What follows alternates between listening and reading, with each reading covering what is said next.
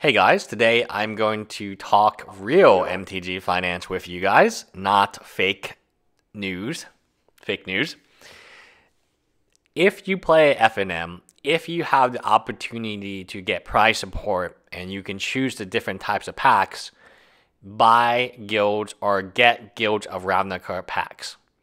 If you're buying a box, you're thinking, oh, maybe I should get Core set, maybe I should get Dominaria, Hour of Devastation. I don't know why you would want that set, but save your money for this set. The value of any standard set is solely dependent on the lands. If you get fetch lands like Khans of Tarkir, I mean, yeah, it'll be a good set just because of those fetch lands. You remove those five fetch lands from Khans of Tarkir, and it's an epic disaster in terms of expected value. That is also true for Return to Ravnica.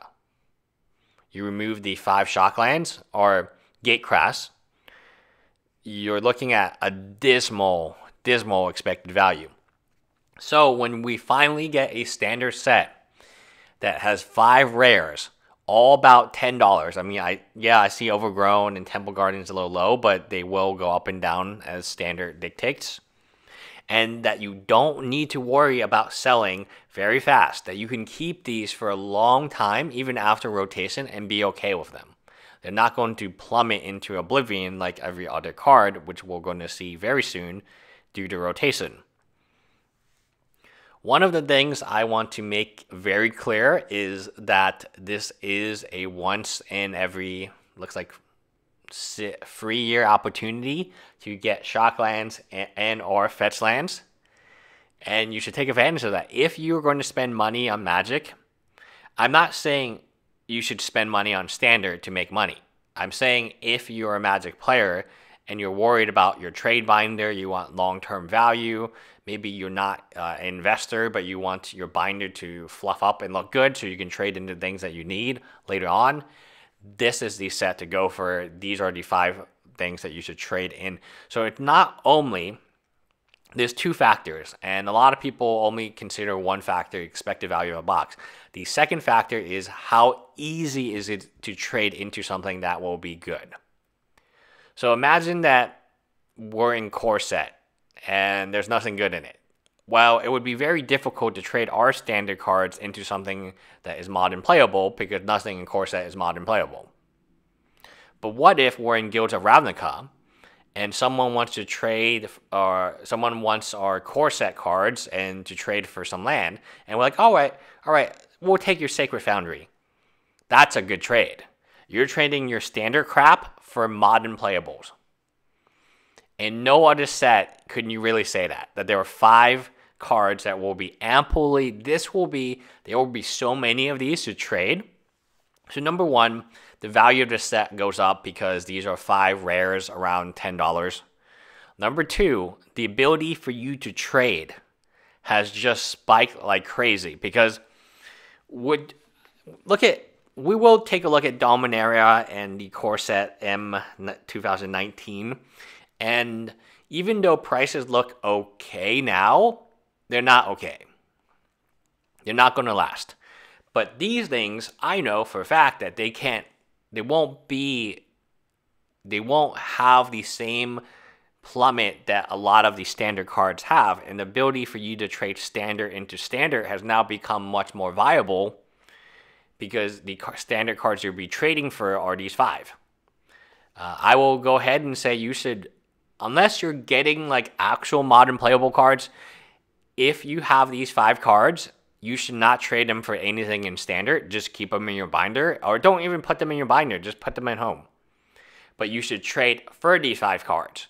Your standard crap that has no value after rotation will trade well into this because there will be many, many copies of it. So the expected value, big deal.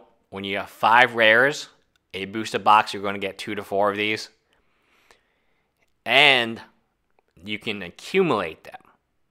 So once in it looks like once in every three months, you will have, be given the opportunity to accumulate something that is absolutely guaranteed. Uh, most cards in standard, like, there's no guarantee that these cards after rotation will see play. In fact, 99% of them will not. these five lands, as well as in EDH, but I'll just focus on modern, are modern playable.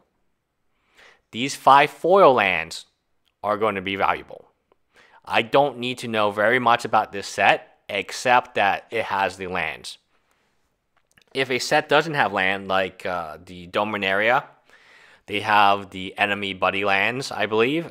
Um, it's just terrible. Like the whole expected value of the set just crumbles. And what are you trading for? Like, is there anything in Dominaria I really want? No, because what what would I want? Like, what would be one of the biggest issues is um, in MTG Finance, the people who have never actually tried to sell, they think it's really easy to buy a card and then sell a card, but there's time to receive the card. If you're going to order from different vendors, not every vendor is going to sell it or going to send it to you at the same time.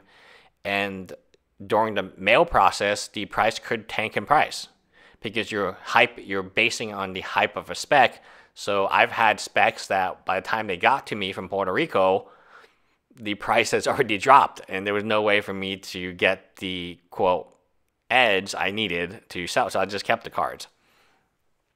The same can be said about you know, it's hard to buy cards, but even more difficult to sell them. Who are you going to sell 100, uh, you know, 100 Dominaria card rares into?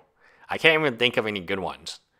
Oh, okay. Core uh, 2018. Crucible obviously is very good, and that's a guarantee. But there's very, but Crucible is also a mythic, and it's unlikely that someone. It's unlikely casual players have a bunch of Crucibles. It is much more likely casual players will have a bunch of these, and they won't really understand they might know what it's valued at because everyone has their phones, but they may not understand that this is so much more valuable than any standard card they could be trading this out of. You should never trade these away for other standard cards. So again, if a person is willing to give you modern cards for standard, yep, do it. If a person is willing to give you legacy cards for standard, yeah, do it, of course. This is obvious. I'm not talking about the obvious. I'm talking about in a standard for standard trade these should never be on your side of the table unless you're trading for foil versions of them. These should always be things that you want to trade for and things that you do not want to trade away. As soon as you get these, put them in, take them out of your binder when you get home from FNM and then just put them in a stash because you will thank me later. It's not that I believe these things will be incredibly valuable but it's a guarantee. It is an absolute. So let's look at core set. These are the rares in core set. Aggressive Mammoth, I'm being told, is actually in the intro deck. So it's not even a rare you can get. A booster pack costs $3.99. Last out Aggressive Mammoth. Is there a single rare in this entire set, non foil, which would pay for the price of the booster pack? No, there is not. There is not. Is there a $10 rare in this set somewhere? Nope. So all the value is at these mythics. These mythics are such a scam because they're not you're not going to get them. Like it's Mythics in general, you guys know how I feel. I think it's one of the worst decisions Magic has ever made because you get graphs that look you get you get uh, screenshots that look like this. And I didn't even show you the cards under 40 cents. There's a bunch of them. You pay four dollars and you get a forty cent bulk rare that you can't even sell to anybody.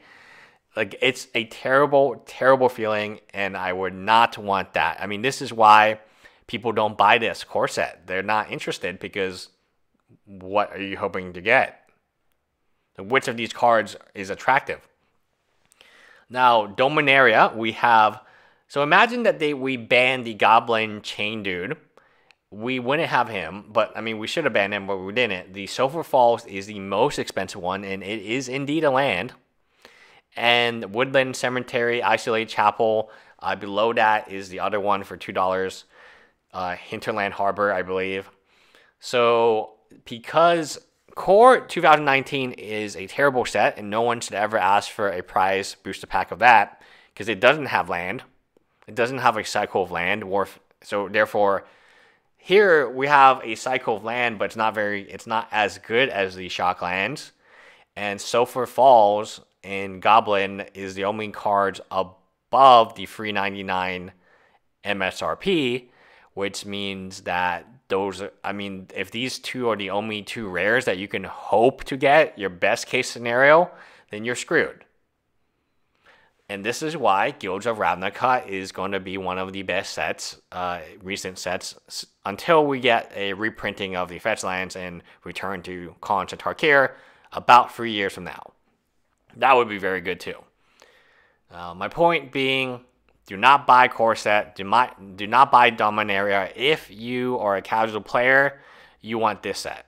If you are want to be a shark or be MTG Finance, you want to trade into this. Same strategy. Go to your local game store, trade your standard crap into this other quote standard crap, which we all know it's not, and then take the, all your shock lands from your binder that night and put it in a, a box. And keep the box. You're thanking me after rotation because everything is going to be obliterated in terms of price minus these five guarantees. Anyway, bye guys.